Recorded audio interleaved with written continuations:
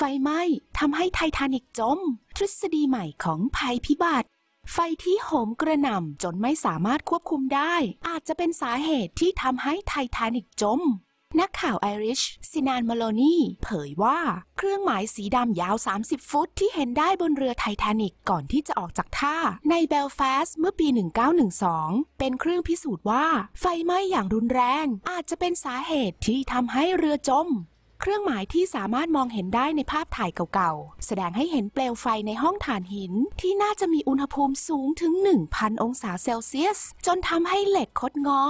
เขาอธิบายเพิ่มเติมว่า เครื่องหมายปรากฏบนพื้นที่ที่ไททานิกชนกับภูเขาน้ำแข็ง ระหว่างเดินทางจากอังกฤษไปนิวยอร์ก ก่อนที่จะจมลงไปยังท้องมหาสมุทรแอตแลนติก จำนวนผู้เสียชีวิตราว 1,500 รายทำให้การจมของไททานิกเป็นหนึ่งในภัยพิบัติที่เลวร้ายที่สุดในประวัติศาสตร์ของการเดินเรือ ทฤษฎีของเซนานถูกนำเสนอในสารคดีโทรทัศน์ที่แสดงในสหราชอาณาจักร เขากล่าวว่าเจ้าของเรือทราบถึงการเกิดไฟไหม้ และแม้กระทั่งพยายามกลบเกลื่อน ด้วยการถอยเรือกลับเข้าสู่ท่าเรือเพื่อซ่อนความเสียหายจากผู้โดยสาร และยังกล่าวว่า แม้ว่าการเกิดไฟไหม้จะไม่ใช่เรื่องใหม่ แต่ทฤษฎีนี้ไม่ได้รับความสำคัญ ทั้งนี้ไททานิกไม่ควรจะออกทะเลตั้งแต่แรกแล้ว